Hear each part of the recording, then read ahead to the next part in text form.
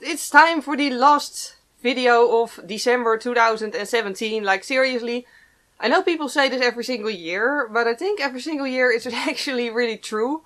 That the year just seriously flew by. Like, seriously, like each and every year I'm like, wow, the new year has begun and it's still winter and let's enjoy winter and then suddenly it's summer and then suddenly summer is over and we're in autumn and I love autumn.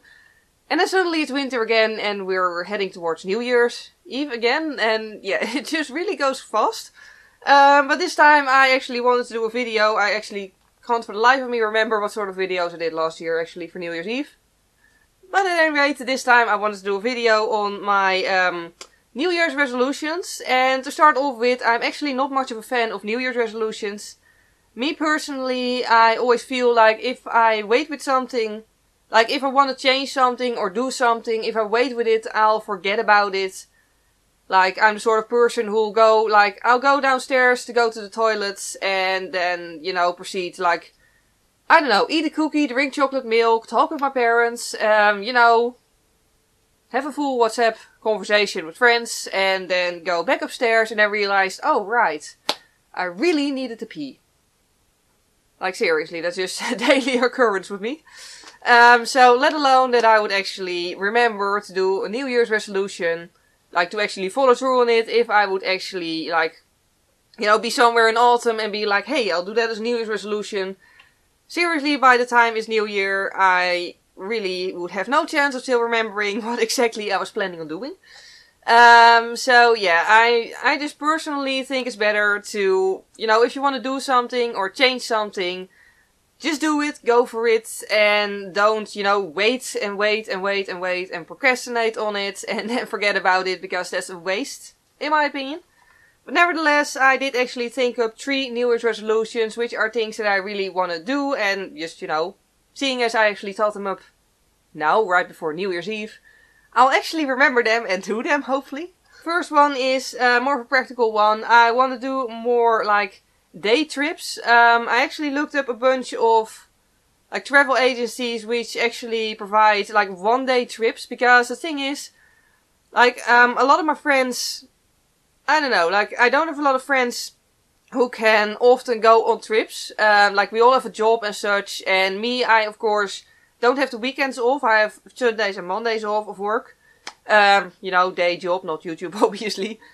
And yeah, so I usually want to do stuff on Mondays as well. And that's just not very handy for other people. And I just also, me personally, I sort of enjoy traveling alone because, you know, I don't have to actually this is gonna sound sort of mean, but I don't actually have to mind anyone else's opinion. I only have to take consideration what I want to do. so yeah, that sort of thing. But the thing with going somewhere on my own is like if you go somewhere for like multiple days, you need to book a hotel room. And that's really, really expensive on your own because you're basically almost paying for two people alone and that's, you know, more than I can afford usually. So yeah, what I want to do is do more day trips and there is, like I said, travel agencies who actually provide that. So like, they just take you somewhere by bus, like with an entire group obviously, uh, by bus at night and then during the day you're somewhere in London, for example, and then at night they drive you back and yeah, that's it. So, you, you know, obviously I would make sure to have the day, the next day off, obviously, because I don't want to travel all night and then have to work the next day, but you know, like, I think it's very, very handy. Um, the one thing that actually kept me from doing that before was that it's, you know, it does actually cost money, obviously, but not all that much. Like, I've seen trips to, for example, London for like 45 euros.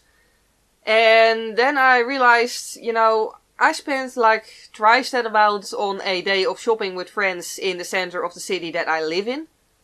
So I might as well spend it on actually seeing other places too. Um, so yeah, that's why I uh, decided that. And of course I will try vlogging as well if I do that, once I do that. Uh, the second one is go for quality over cheapness. Um, yeah, I'm, quite frankly, I'm a cheapskate. I'm a huge cheapskate. But I have realized, especially when it comes to makeup, also stuff, well, not really with stuff for my camera, because I've always gone the quality road for my camera and never the cheapskate road. Uh, mostly because, for example, with lenses, um, you know, like, a Nikon lens might cost, for example, 500 euros, depends on the type of lens, of course. And then there's cheaper brands that will also fit on a Nikon camera. but will only cost like 200 euros. But 200 euros is still a lot of money, and for, you know, a couple of hundred euros, I do actually want a good quality item. So for my camera, I have always gone for quality over cheapskateness. I don't think that's a word, but still. Um, but for makeup, I did usually go for the cheaper version, and then as usually, well, not as usually, like, I'm not saying that expensive is always better, because, for example, I really love my Catrice concealer and Catrice powder, and that's really, really cheap. But in some cases, I have gone for a cheaper solution rather than the more expensive version, for example, with makeup sponges. Just kept it with the very cheap, like, very cheap white edgy makeup sponges instead of a beauty blender, and then I finally bought a beauty blender, and it's really you can't compare those. A beauty blender is way, way better. It's so easy to work with. All my foundations look 10 times better. And yeah, it's just, I really regret not buying one earlier. In case you can't tell, I have a cold, so if I sound weird at moments, that's because of the cold. but anyway, um, yeah, so, you know, and it happened to me a couple of times really in the past. That I did a look, and then like a makeup look, I mean, and then looked at the photos, and I was just like, it could have been way more smooth and way more like color saturated, way more intense. If I would have gone for the better product instead of the cheaper one. So instead of looking at the price tag, I really am going to try to just look at the quality. Like, of course, I'm not going to buy really, really expensive makeup because I don't have money for that. But, you know, just really, like, if I have two products and one is slightly more expensive but better, I will go for the better one instead of the cheaper one.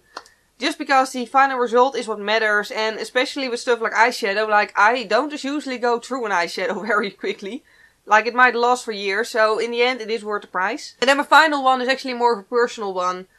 Um, trying to be more social in the sense of, for example, um, I'm the sort of person who will, in some occasions, like wait for days to actually send a WhatsApp message to someone. Like, it sounds ridiculous, but for example, at the moment, a colleague of mine is ill. And I really like, I was seriously on the fence about whether or not to send her a message for like three days.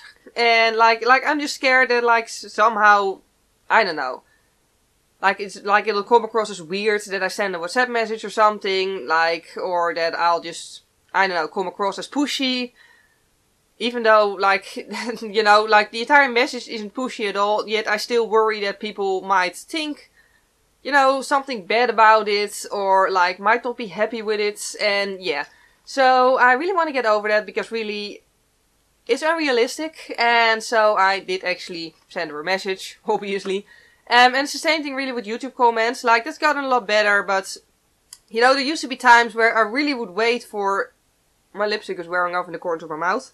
Anyway, where I would literally wait for like days for before like replying to a YouTube comment because I would be scared that people would think of it as you know, like I don't know, like somehow that I would come across as rude or unfriendly, even though I'm really not ever trying to be unfriendly.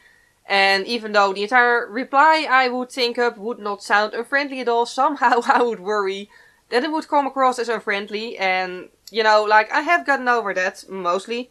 But I'm just still working on being more social like that. I always feel like other people just know what to say way better than I do. Somehow. Um, but yeah, so that's number three on my list. And that actually forms my entire list. This is actually two weeks of YouTube videos. The list is actually only this part. But point is, yeah, that was my uh, entire list of New Year's resolutions. Um, if you have New Year's resolutions, I really hope you'll follow through on yours. And I'm going to do my best to follow through on mine. Um, for now, I really hope you've had a lovely year. I hope you have a lovely year next year and, you know, have a nice New Year's Eve. Um, yeah, if you did like this video, please click the like button. It would really help me out. And if you want to enjoy my videos in the next year, please subscribe. Um, for now, again, thank you very much for watching and I hope to see you next time. Bye!